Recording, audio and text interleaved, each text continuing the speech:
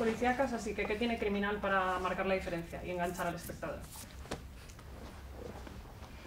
Que yo lo que creo que tiene criminal para enganchar al espectador, que creo que está bien, que es una buena serie, me parece a mí, que es lo principal.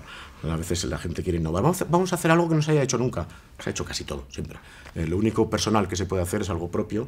Eh, lo único original que se puede hacer es algo propio, personal y bien hecho. Eh, con mucho oficio. Creo, creo que en este, en este país tenemos mucho oficio. Hay gente muy buena en todos los departamentos de, para hacer una película, para hacer una serie. ¿no? Creo que, y creo que, ¿qué tiene esta serie que, que es especial?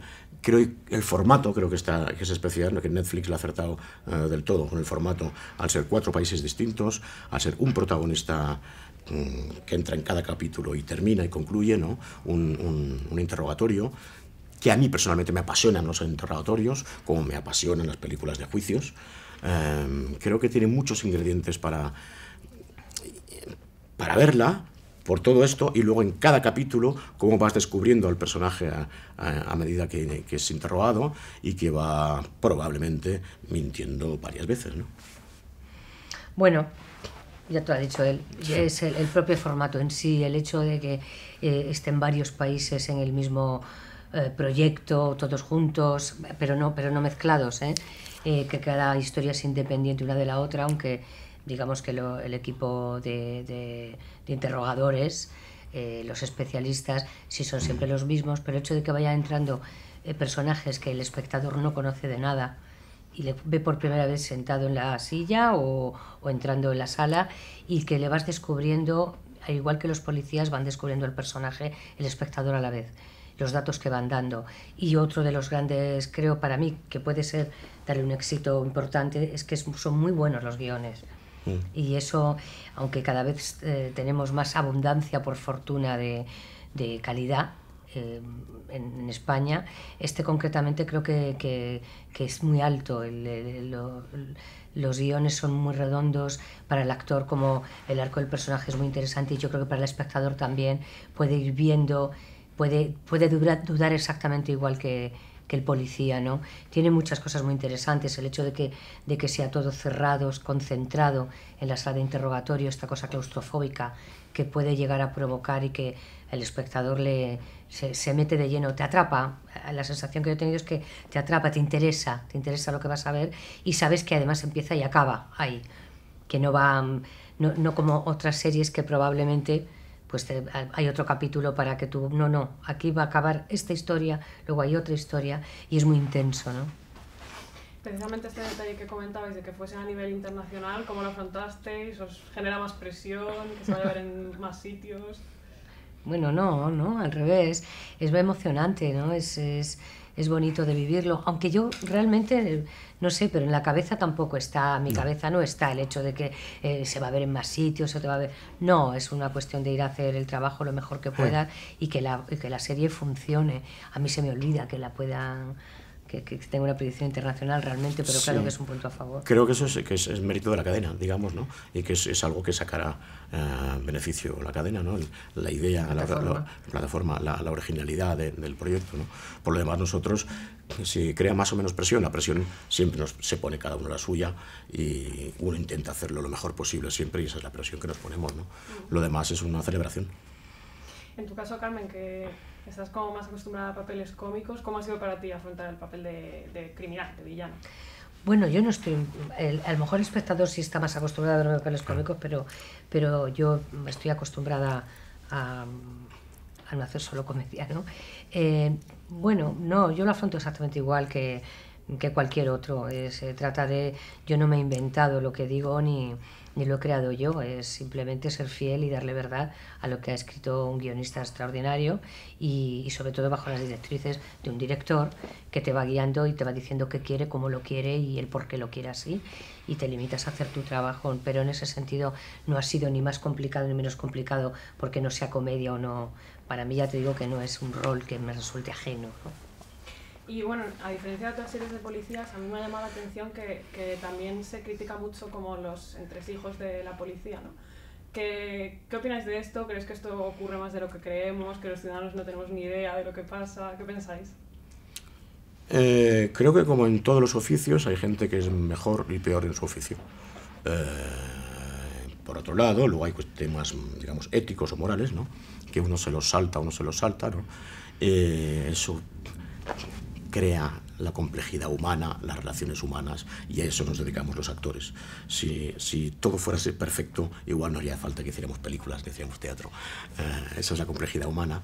Evidentemente se trata de mejorar, de que la gente, sobre todo la que pagamos los ciudadanos, hagan su trabajo bien, que sean honestos y sinceros, y que tanto la justicia intente impartir justicia y los policías hagan bien su trabajo y los actores también, ¿no?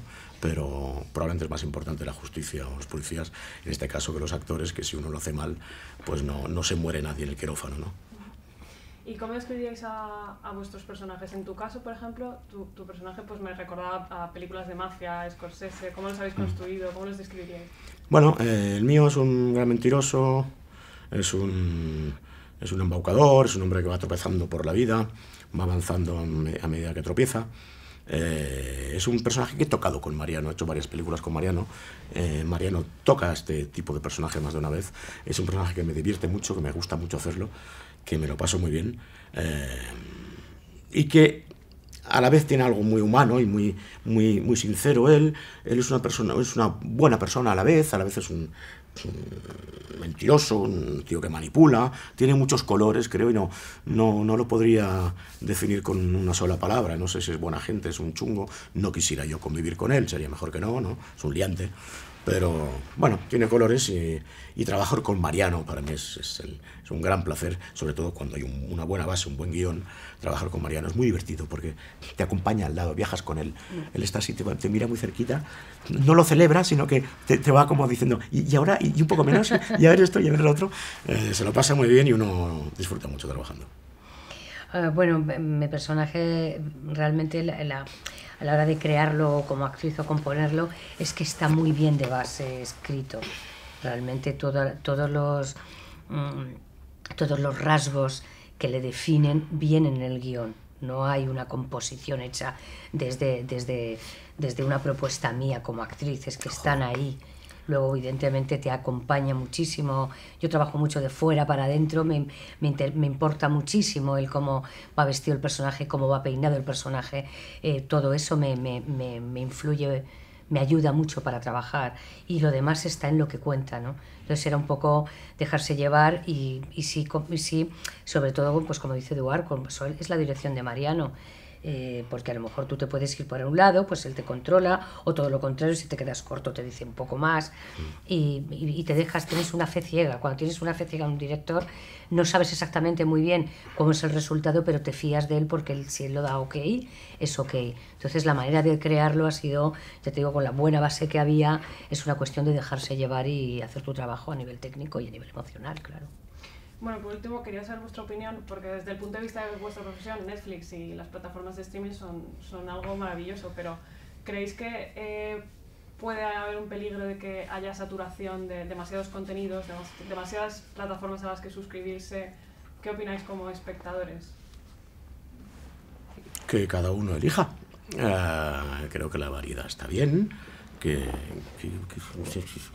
que, cada uno eh, elija. Yo creo que está bien que haya plataformas, que haya muchas series, que haya muchas películas, que haya mucho teatro, que, yo incidiría sobre todo en la calidad. Creo que en este país hay mucha calidad en todos los aspectos mm, que, que marcan nuestra profesión. ¿no? Eh, y creo que es bueno desarrollarla, disfrutarla, que la disfrute el espectador, compartirlo, acercarnos más, eh, querernos entre nosotros y admirarnos unos a otros, ¿no? Eh, que sea internacional, que, eso, que nos veamos a los ingleses, que ellos nos vean allí. Creo que, que todo esto va, va, va, es bueno para todos y que va, va creando una, una base que va a ser muy positiva y que poco a poco la estamos andando y descubriendo. Y yo estoy contento con todo eso, francamente. Pues yo estoy de acuerdo, creo que la oferta, cuanto más oferta haya, más tienes donde elegir y tú también eres, eres o sea, decides tú qué quieres ver y qué no quieres ver y, y de hecho cuando hay una corriente y se comenta el boca a oreja de toda la vida, mm. has visto esto, vas y lo mm, ves mm. y realmente casi siempre se coincide. No, no porque haya mucho quiere decir ni que todo sea bueno ni que todo sea malo. Siempre hay cosas que te atraen más, hay para todos los públicos, para todo tipo de mirada y yo creo que siempre es bueno, es buenísimo. Cuanto más oferta haya, más opciones tienes de enriquecerte. Yo creo que es rico, es, es sano. ¿no? Eh, luego, habrá, lo que es con respecto a nosotros, aparte de luego el trabajo que puede dar a, a nivel actores, la cantidad de puestos de trabajo que da en, nuestra profesión, hay muchísimo paro. Y, y, realmente pues es una alegría, es bien recibido para mí, yo, me parece muy bien.